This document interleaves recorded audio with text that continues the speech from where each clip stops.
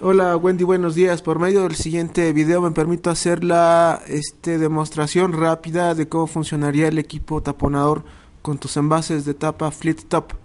Tenemos aquí físicamente en la redacción que nos hiciste favor de mandar que tienes una tapa que tiene 26 22.4 milímetros de diámetro y otra que tiene 26.5.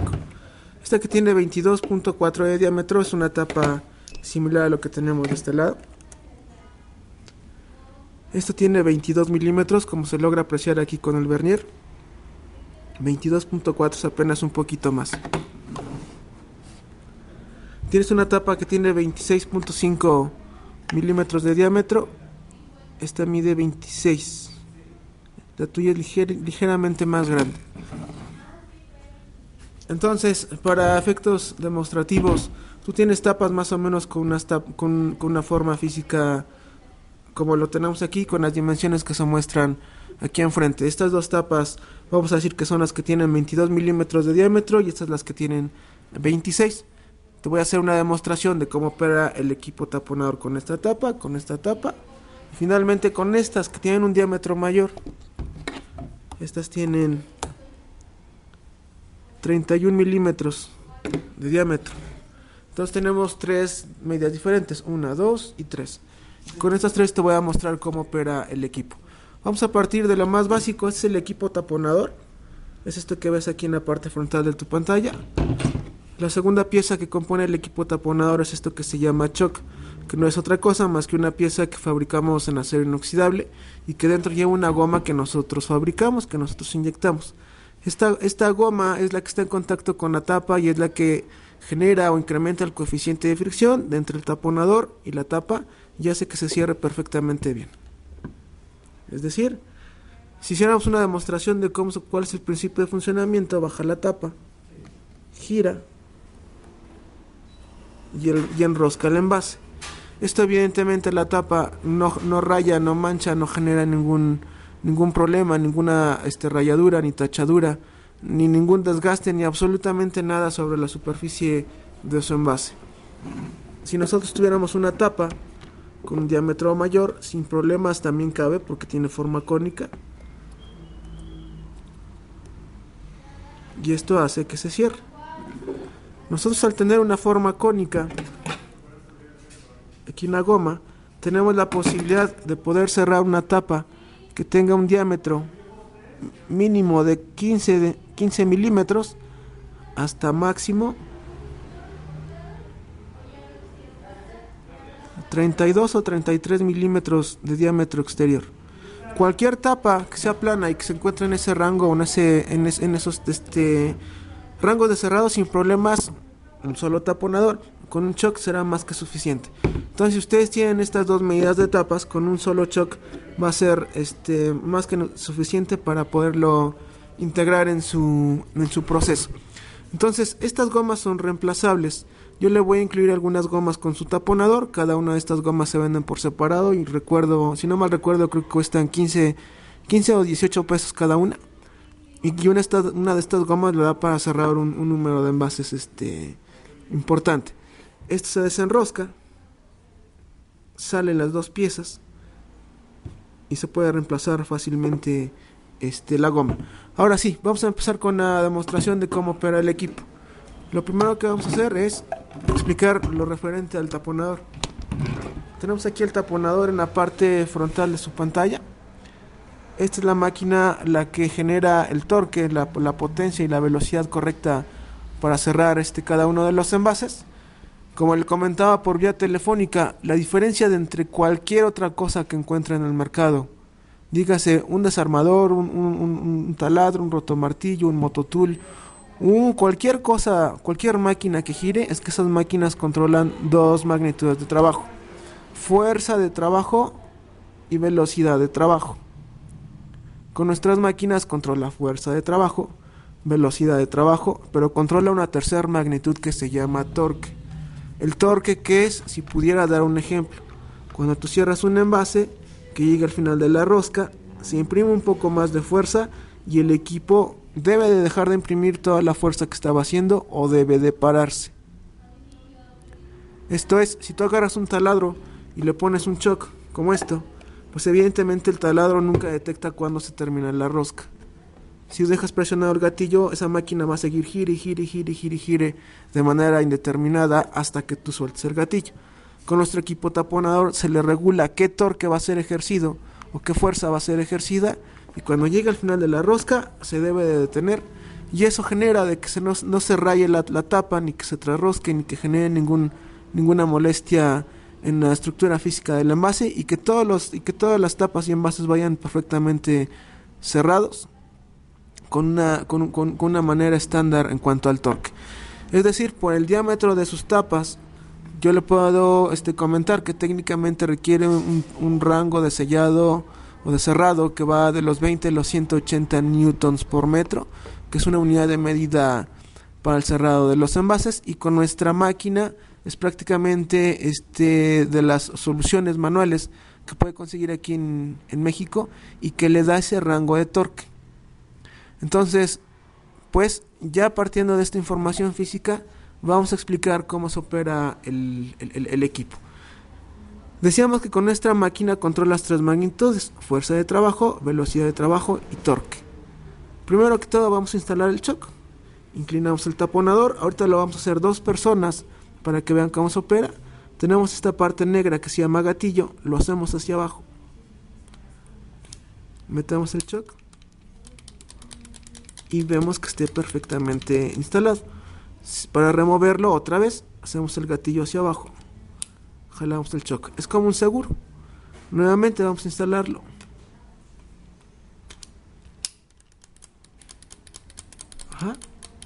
Entonces, así está instalado. Punto número 2. Nosotros tenemos esta perilla de color negro que gira para la derecha o para la izquierda. Si lo giramos para la derecha, gira en sentido horario y enrosca. Si lo, movemos en sentido contrario hasta la izquierda, gira, gira en sentido antihorario y desenrosca. Si lo ponemos al centro, como a las 12 del día, si lo viéramos como las manecillas del reloj, es torque cero. Entonces, ¿qué es lo que vamos a hacer para efectos prácticos? Esta perilla siempre tiene que estar hasta la derecha. Vamos a ejercer el mayor torque posible y con esto controlamos torque. La fuerza de trabajo la controlamos con la presión de aire que entra al equipo, es la segunda magnitud de control, y debe de tener de 4 a 7 kilos de presión la línea. Y como número 3 tenemos esta perilla con la cual vamos a controlar la velocidad de trabajo. Es decir, prácticamente para el cerrado de los envases hay tres variables que hay que tomar en cuenta para, el cerrado de, este, de, los, de las tapas donde era la velocidad, la, mejor el torque de trabajo, que dijimos que tenía que estar al máximo, esta perilla puesto a la izquierda, siempre.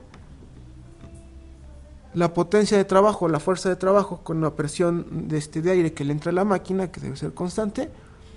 Y solo vamos a jugar con esta ruedita. Esta ruedita nos va, vamos a indicarle cuál es la velocidad de trabajo. Si me permites, ahora sí, vamos a hacerte una demostración. Lo conectamos al aire.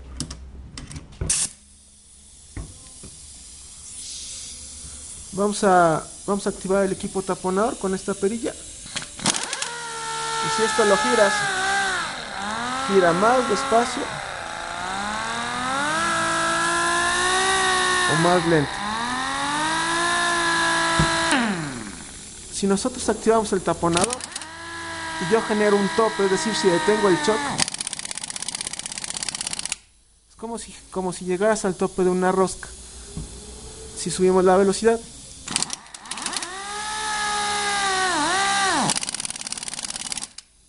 imprime mayor fuerza.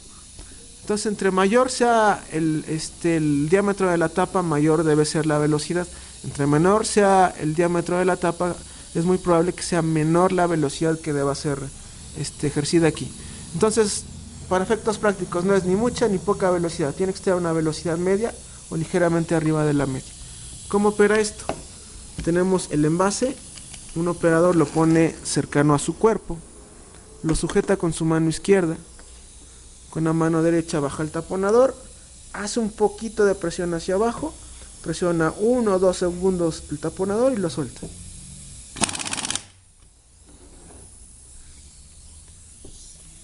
¿Ven esto que es aquí? si se maltrató, quiere decir que hay que ejercerlo con un poquito menos de velocidad.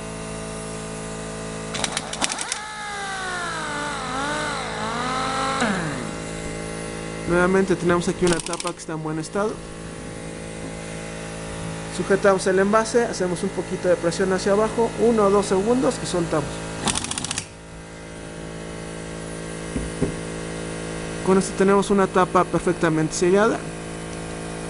Si quisiéramos un poquito más de velocidad o más potencia,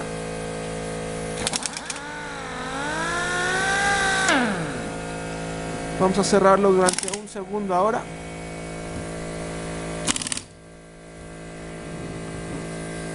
Y ahora sí. Si quisiéramos que tuviera más potencia, vamos a cerrarlo a ver dos segundos.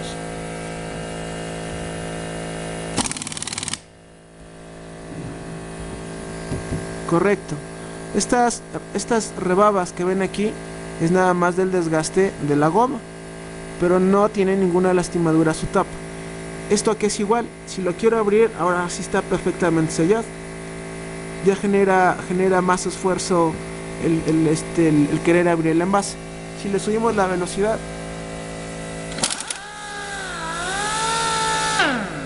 vamos a activarlo un segundo.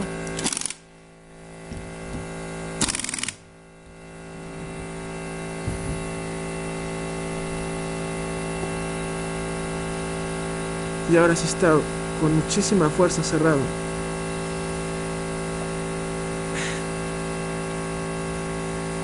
Todo depende de cómo quiera, quiera, con qué intensidad quiera ser cerrado su envase. Esto al no ser una tapa totalmente plana, pues obviamente el, equipo tiene que hacer más esfuerzo para cerrar. Ahora esta era la tapa, por decirlo así, de 22 milímetros. Vamos a hacer una tapa, una, una prueba con las tapas de 26 milímetros.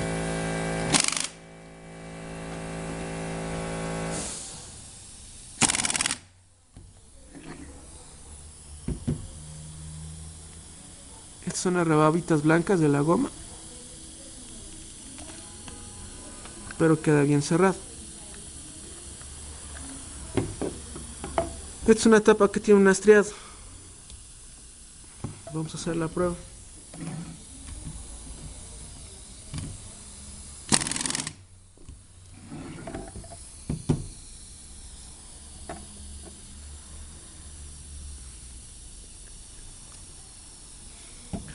Hacer una, una, una prueba con tapas con un color distinto a blanco.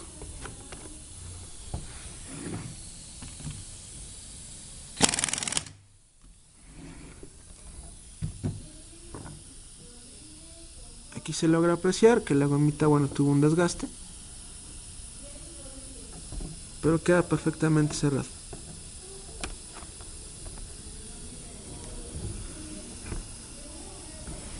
Concluimos con esta tapa.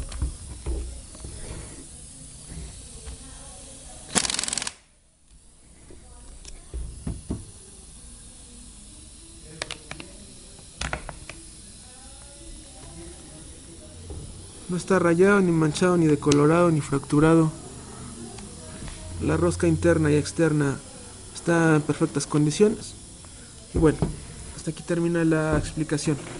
Entonces, ¿qué es lo que se les, qué es lo, qué es lo que se les entrega este, con el equipo? Es todo el equipo que ve aquí en la parte frontal, un choc, una serie de gomas de repuesto y se les entrega esta goma este, retráctil, que ahorita les explico para qué es. En cuanto al mantenimiento, que es lo único que hay que hacer, solo hay que hacer dos cosas. Dos cosas nada más. Te vamos a entregar este aceite, que es como el aceite 3 en 1 para la lubricación de chapas, de cerraduras o de máquinas de coser. Te cuesta 16 o 18 pesos el frasquito. Y antes de que inicies la jornada de trabajo, hay que echarle 4 o 5 gotas aquí arriba. ¿Para qué? Para que el aire entre por este lado y lubrique todos los componentes internos que tiene la máquina. Entre más lubricado esté esa parte, pues evidentemente los componentes van a tender a desgastarse en una menor proporción. Eso es este número uno. Número dos, el equipo tiene un montón de, de, piezas estructurales dentro de la máquina. Luego acontece de que este, los operarios dicen ya son las 6 de la tarde, dicen bueno, 6 con 1, vámonos. Y lo avientan. Si se les cae al piso, si lo avientan a una mesa y si algo se descalibra aquí adentro, no hay compostura. Porque son una serie de mecanismos y este y componentes que van que van instalados de una manera muy precisa. ¿Qué es lo que hay que hacer? Esta máquina tiene un gancho. Hay que ponerle esta goma retráctil que está aquí y esto tiene que estar suspendido. Tiene que estar así colgado en el aire. Esto lo cierran con una pinza y el operario ya no carga el equipo y nada más lo baja y va cerrando uno y otro y otro y otro. Y con esto aseguramos de que físicamente este, los componentes pues nunca se desajusten por un golpe o por una caída. Entonces Wendy, hasta aquí terminamos con la explicación. Así funciona el equipo, así es el mantenimiento, es el cuidado que hay que tener y así cierran los diferentes envases que te, este, que, te muestro y de los cuales me mandas la medida. Cualquier duda o comentario, sigo a tus órdenes.